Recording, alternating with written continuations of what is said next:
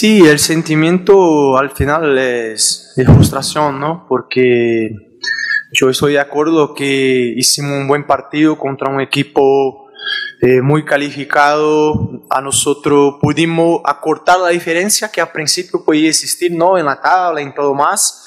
Eh, hicimos un partido equilibrado. Yo pienso que al inicio nos estaba costando mucho. Hicimos un cambio eh, en el dibujo táctico a los 15 minutos y así equilibramos el partido.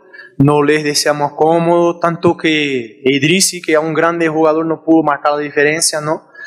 Eh, pero bueno, los errores que estamos cometiendo nos están costando mucho. Eso es un tema que sí, que tenemos que, ya hemos platicado, pero tenemos que con los entrenamientos corregirlos y seguir adelante. Yo pienso que que el equipo estuvo a la altura del partido, sin duda ninguna, pero el sentimiento, como te digo, es de frustración al final.